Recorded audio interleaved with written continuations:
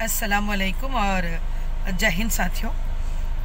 दोस्तों और साथियों, तेलंगाना में जो वाक़ एक एक महीना पहले Moinabad rape and murder case में हमारी अपनी मासूम जो बेटी थी, जिसको हमने हया बेगम के नाम से बात कर रहे हैं तो आज तकरीबन एक महीने के करीब वाक़ हो चुका है और पुलिस विक्टिम्स के फैमिली को कोई जवाब नहीं दे रही है। तो ऐसे हालात में विक्टिम की फैमिली और उनकी छोटी बहन, जो कंप्लेनेंट है, आफरीन बेगम, अपने वालिद और अपने भाई के साथ, अपने बहन बहनवई के साथ शिराज फाउंडेशन अप्रोच हुए हैं ताकि उनकी क़ानूनी कार्रवाई में भरपूर मदद करें और जहाँ तक हो सके इस केस को लड़ने में लीगल फाइट में साथ दें। तो मैं इनका साथ देने के लिए, मेरी टीम अब इनका साथ देने के लिए तैयार है।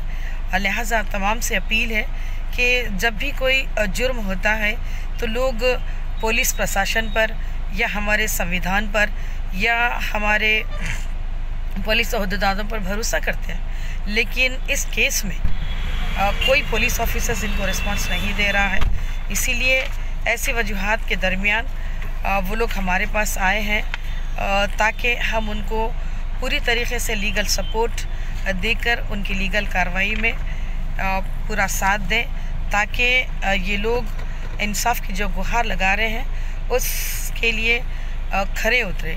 तो मैं अपील करती हूँ कि आप तमाम लोग भी हमारा साथ दीजिए। खसूस मीडिया के भाइयों से मैं कहना चाहती हूँ कि मीडिया क्यों चुप है? इस केस को लेकर, जहाँ पर मैं तेलुगु मीडिया या इंग्लिश चैनल्स या तेलुगु चैनल्स मुख्तलिफ़ जो चैनल्स है बड़े पैमाने पे जो काम करते हैं यहाँ पर यहाँ तक के नेशनल चैनल्स भी इस केस में आ, शामिल होना चाहिए ताकि आज एक लड़की या किसी भेदभाव के नहीं मज़हब के नहीं बल्कि देश के कानून पर हमला हो रहा है। देश के कानूनी व्यवस्था पर हमला हो रहा है। कुछ ऐसे लोग बैठे हैं कि जो नहीं चाहते कि इंसाफ हो। तो इसलिए हमारे साथ आप हमारी लड़ाई में साथ दीजिए और जहाँ तक हो सके हमारे मिशन से जुड़ने की कोशिश कीजिए। जय हिंद।